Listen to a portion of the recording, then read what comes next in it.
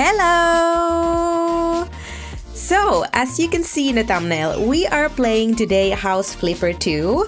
Uh, this is a time lapse of my process, me building this whimsical Easter spring themed room. I just love doing these little room builds. This is also without a commentary, so sit back, grab a drink or snack, and I'll see you in the end of this video.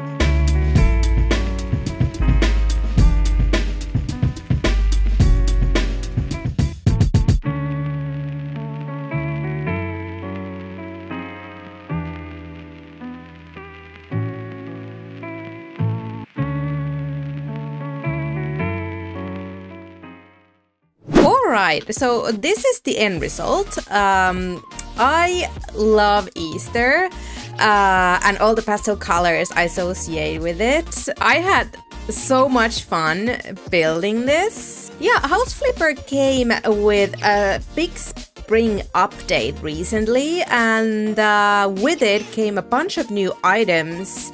I am sure I used some of them. I think some of the textures are new.